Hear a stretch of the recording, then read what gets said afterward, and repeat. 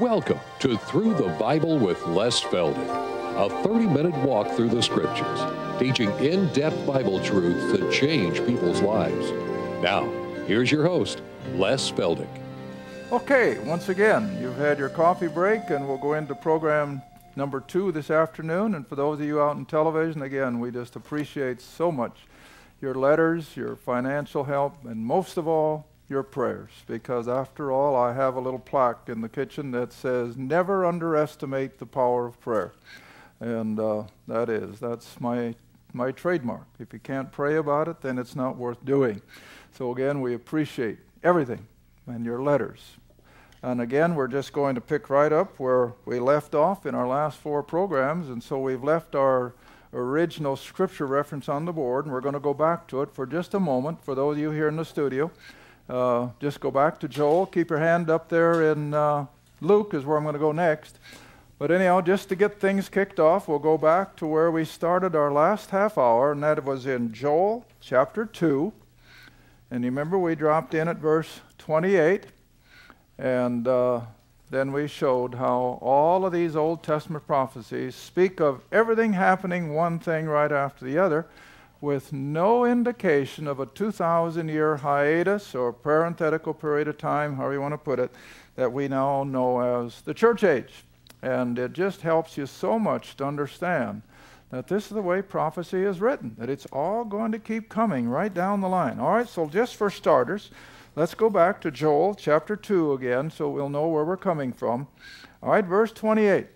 And it shall come to pass. It's going to happen afterward, after a certain number of events have taken place, that I will pour out my spirit upon all flesh. Your sons and your daughters shall prophesy. Your old men shall dream dreams, your young men shall see visions, and also upon the servants and upon the handmaids in those days I will pour out my spirit, which we understand was the day of Pentecost. But see, now the Old Testament goes right on into the tribulation. That's next. And I will show wonders in the heavens and in the earth blood, fire, pillars of smoke, and so on and so forth.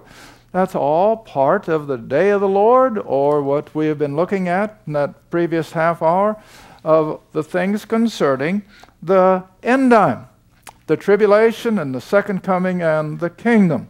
Well, then we went all the way up through the Old Testament and we're just ready to jump into the New, and we ran out of time, but let's just continue on now and jump all the way up from Joel to Luke.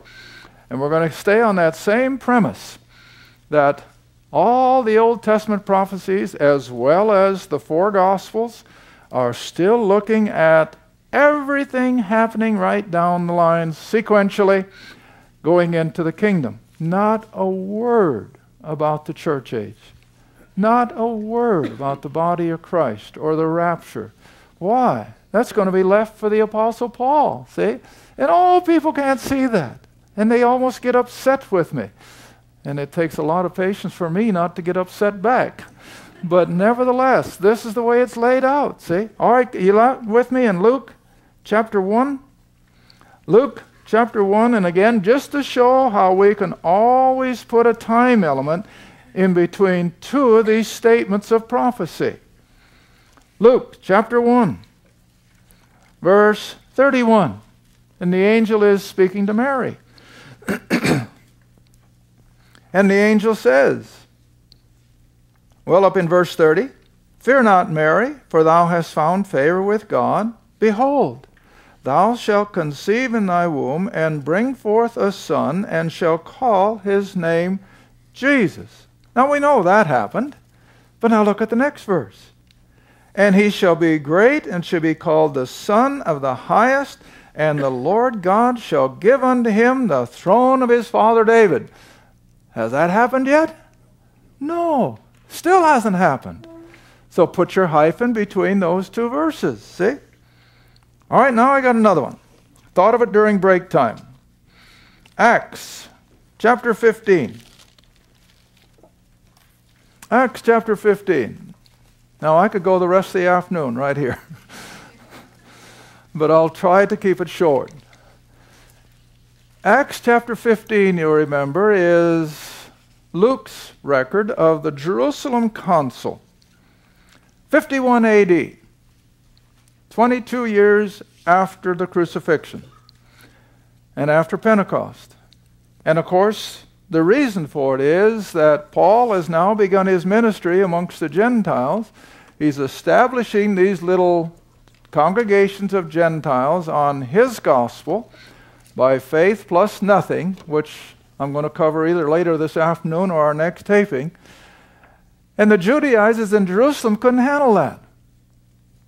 And of course, they meant well, but they really thought that Paul had misled these poor Gentiles and that they really didn't have a full blown salvation because they were not keeping the law and they were not adhering to Judaism.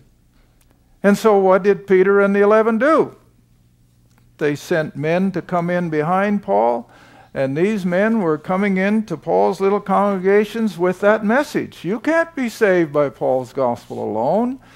You have to keep circumcision and keep the law. All right, now, lest you look at me quizzically, just look at what it says in Acts chapter 15, verse 1. And certain men who came down from Judea, that's Jerusalem, and they were from the Jerusalem church under the control of the twelve, they came down now to Antioch. That's where this is referring to. Paul and Barnabas have been ministering up there in Antioch in Syria. Okay, so certain men came down from Judea and they taught the brethren, Paul's Gentile converts. And this is what they told them Except or unless you be circumcised after the manner of Moses, you cannot be saved. Plain English? Well, you can't get it any plainer than that. You can't be saved by this gospel alone. You've got to practice Judaism. You've got to circumcise. You've got to keep the commandments. Now, this verse doesn't say that, but verse 6 does. So just jump up to verse 6. No, 5. I'm sorry. Up to verse 5. That when Paul gets to Jerusalem and he meets with the 12 and the Jerusalem church, there were other voices and here they are. There rose up certain of the sect of the Pharisees who believed. Well, they believed what? The kingdom gospel that Jesus was the Christ. And so these Pharisees now are members of the Jerusalem church. They're believers. Not of Paul's gospel of grace, but of Christ's gospel of the kingdom. All right, but this is what Paul was up against. These fellows were coming in behind him telling his Gentile converts that you can't be saved unless you're circumcised. Now read on in verse 5 that it was needful to circumcise them and to command them to do what? Keep the law of Moses. Now you know that just flies in the face of when Paul says in Romans 6:14, you're not under law, you're under grace. I hear it every once in a while. My girls here in the office. What's Les talking about? We're not under law. Am I right, Les? Huh? Yeah. Yeah, they, they can't comprehend it. What do you mean we're not under the law? I need the Ten Commandments. No, we're not under law. We're under grace. All right, so they come together to discuss this thing with the 12. Paul and Barnabas against the 12 up there at Jerusalem. All right? So after they finally agree that Paul is right, they've been wrong. Now it takes good men to do that. We're getting a few. They call and say, Les, I'm finally seeing it. You're right, I've been wrong for 20 years. Now that takes a good man, and I admire him for it. And uh, in fact, I just had a call before we left. A pastor down in Florida wants us to come into his church. And that's the first thing I asked him. You mean you agree with me? He says, 100%. And uh, he said, My people will agree with you 100%. But he says, It took me 10 years. And that's about what it does. You know, it takes a long time to come out of that that's been 20 years wrong and suddenly see that this is where it's at. So, anyhow, same way here at Jerusalem.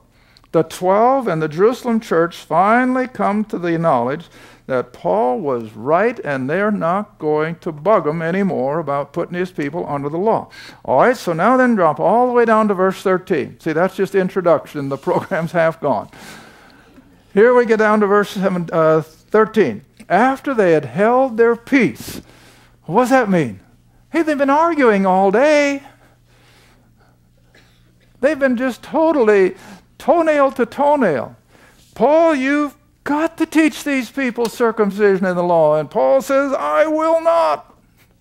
And on and on they went. All right, so finally, verse 13 after they had held their peace, James, who was moderating this, the James of Peter, James, and John, he answered, saying, Men and brethren, hearken, listen to me. Simeon, Peter, has declared how God at the first did visit the Gentiles, a reference to the house of Cornelius, which was really Paul's salvation. Had Peter not had that experience at Cornelius, he would have never given in at this Jerusalem council. But he finally woke up and said, Hey, long time ago, 12 years ago, God showed me that he's going to save Gentiles. All right, here's the result. See? How at the first, he did visit the Gentiles. Now, watch the language carefully. To take out of them. Now, what does that imply? They're not going to be all that many, but he's going to bring a certain small remnant of Gentiles out of their paganism and their unbelief into a salvation experience. All right? So he did visit the Gentiles to take out of them a people for his name. Now, James, by Holy Spirit inspiration, remembers something. There's a verse back in the Old Testament that alludes to this without telling us what it was talking about. Next verse. And to this agree the words of the prophets, Old Testament. As it is written, what's the next word? After. Now, what does after imply? A period of time. After a given period of time, I will return and will build again the tabernacle of David, which is a reference primarily to what? The temple and Jerusalem and the nation of Israel in general. I will build again the tabernacle of David, which is fallen down. Well, does that need an explanation? The temple has been off the scene since 70 AD. Israel has been dispersed. They've just recently, in biblical time, come back to their homeland, reestablished their nation, but they still don't have the temple, but they will. All right, so here's the whole thing again that after a period of time, a break in the prophetic timeline, God's going to come back and still finish everything that was promised. All right, now go back with me to the book of Amos and you'll see what James is referring to. Back to Amos. Amos chapter 9. Dropping in at verse 11. Now, you see, without our understanding of the church age, these Jews had no idea what Amos was talking about. And Jesus didn't reveal it to them in his earthly ministry, he left them in the dark. But yet we know now that after God turned to the Gentile world and let Israel lose the temple, lost their homeland, went into the dispersion, Yet after that next period of time, which we call the age of grace, God's going to come back and finish the prophecies. They're still all going to be fulfilled. All right, here it is uh, Amos chapter 9, verse 11. In that day, future, I will raise up the tabernacle of David that is fallen. Well, you see, Amos didn't know that the Romans were going to destroy Jerusalem and the temple again. That was beyond him. But yet, by Holy Spirit inspiration, he could write prophetically that it's going to fall. He didn't know how or what and when, but it's going to fall. But after a period of time, see, after a period of time, then he says, I will raise up his ruins and I will build it as in the days of old all again to show us that prophecy only went up until the time of the appearance, especially of the Apostle Paul, and the opening up of the age of grace.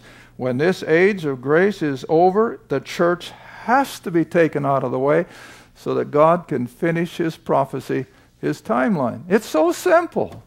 I mean, it's just so simple. All right, now come back to the book of Romans for a moment, and, and we see much the same kind of language in a little different way, but it's still speaking of the same concept that there's going to be a long period of time when Israel will not be in a place of fulfilling prophecy, but they will be. Their day is coming, and we're getting closer and closer every day. All right, Romans chapter 11. Drop down to verse 25. Romans 11, verse 25.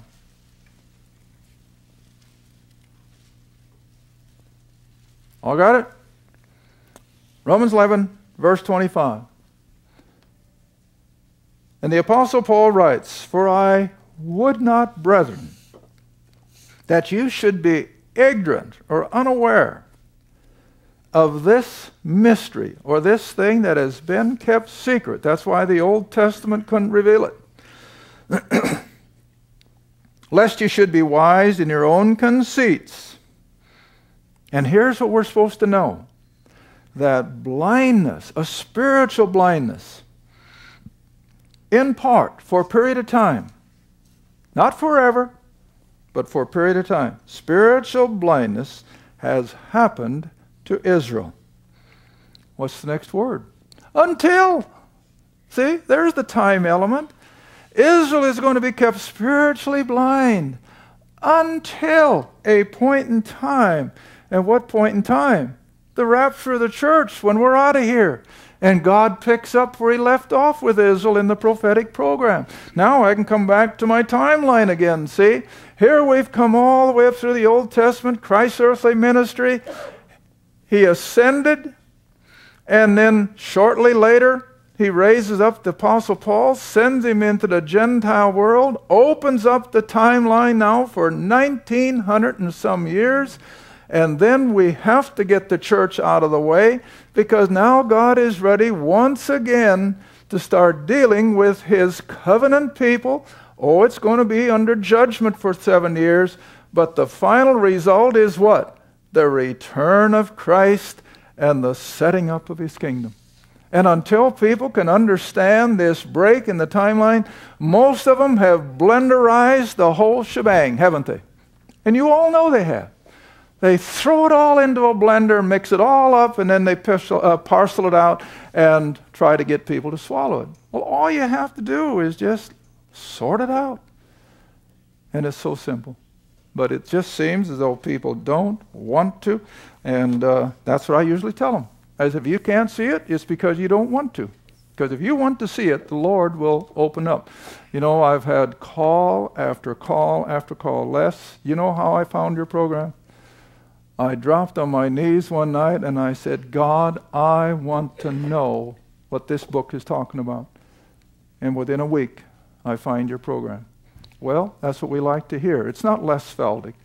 It's the Lord working in the hearts of people. All right, now then, I don't think I have to go all the way back to Joel, but come back with me to the book of Acts, chapter 2, the day of Pentecost. The day of Pentecost, which we've already referred to a time or two in these prophetic statements in the Old Testament. Your young men shall dream dreams, and your young women shall see visions, and all these things. All right, so now in Acts chapter 2, when the Holy Spirit comes down, and evidenced by the little tongues of fire sitting on the heads of the 120, and Peter and the 11 are now preaching to this vast crowd of Jews from every nation under heaven, from all these different languages and what's the miracle? All right, we got to pick it up down in verse 7. Here's the miracle. And oh, it just blows the minds of these Jews in spite of the fact that they've just experienced three years of his miracles. Over and over and over, he's been performing miracles. And this is only 50 days later. And yet it just blows their mind. All right, look what it says, verse 7. And they were all amazed. This whole multitude of Jews gathered for the feast of Pentecost. And they marveled, saying one to another, Behold, are not all these who speak Galileans? Well, what's implied? There's no high class educated language speaking people up in Galilee. That's the dumb educated part of Israel. But that's what these guys are. And here they're speaking in all these languages. And then verse 6 says, We hear everyone in our own language. Miraculous. And the multitude was just all shook up. So now then, verse 12. Here's the response from this multitude of Jews.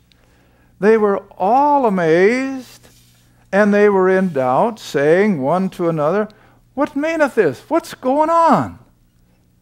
Now, again, I got to remind you, this is only 50, 52, three days after Christ's earthly ministry. What's the matter with these people? Why can't they put two and two together? That this is just an extension of what Jesus had been doing for three years, but they couldn't get it.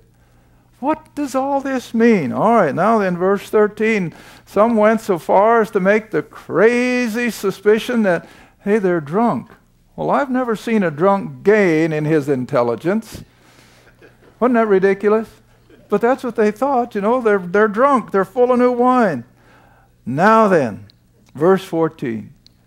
And Peter, standing up with the eleven, eleven, lifted up his voice, and he said unto them, You men of Judea, and you that dwell at Jerusalem.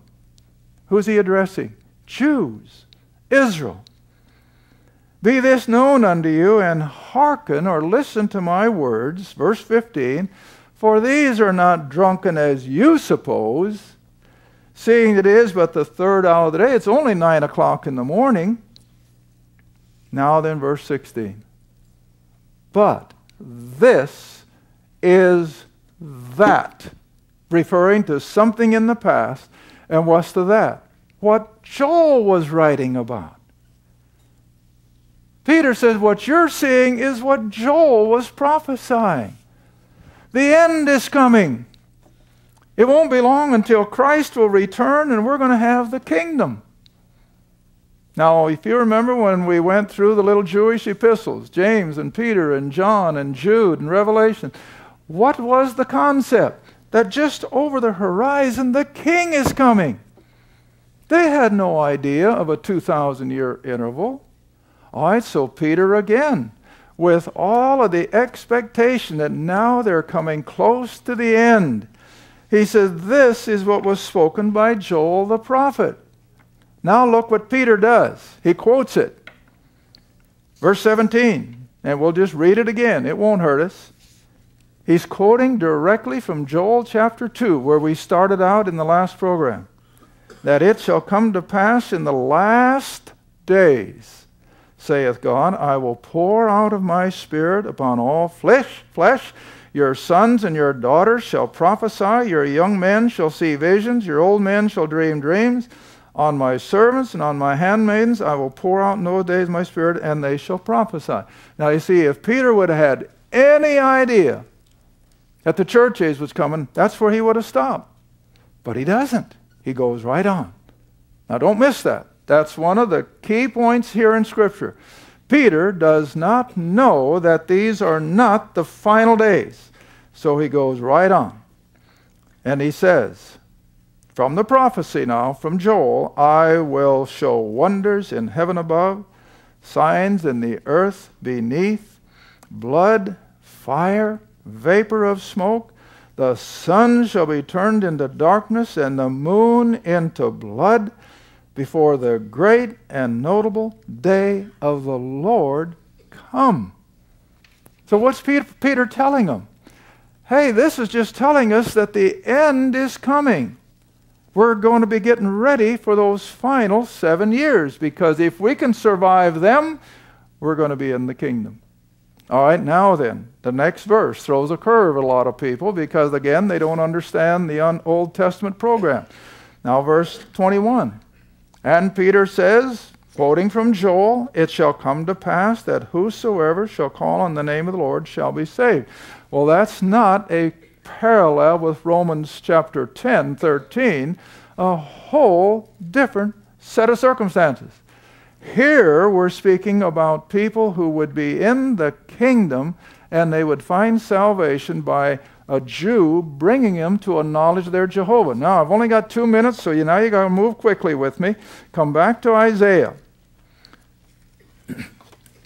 because from the Old Testament prophets, Israel were going to be the ones to bring salvation or the message of salvation to the unsaved who at this point in time are still pictured as in the kingdom. And they would come to a knowledge of Jehovah through every Jew who was to have been a priest, according to Exodus chapter 19, verse 6. And you shall be unto me a kingdom of priests, a holy nation. All right, here is Isaiah's take on it. Chapter 42, verse 1. Behold, my servant whom I uphold, my elect in whom my soul delighteth. I have put my spirit upon him. He, speaking of the Messiah, he shall bring forth judgment or righteous rule to the Gentiles. Now you come down to verse 6, and it's speaking to the nation. I, the Lord, have called thee in righteousness. I will hold thy hand. I will keep thee. I will give you for a covenant, for a light to what people? the Gentiles. See? And then when you jump on up to chapter 59 and 60, it's the same thing that Israel would be the vehicle to bring the Gentiles to a knowledge of salvation. But by the time we get to the near end of Christ's earthly ministry, we now see that that's not going to be the case. There will be no unbelievers in the kingdom for Israel to minister to because they've lost that opportunity. And that's why Jesus told Nicodemus, what? Except you be born again, you cannot enter the kingdom of heaven. So now we understand that no, there will be no unbelievers in the kingdom.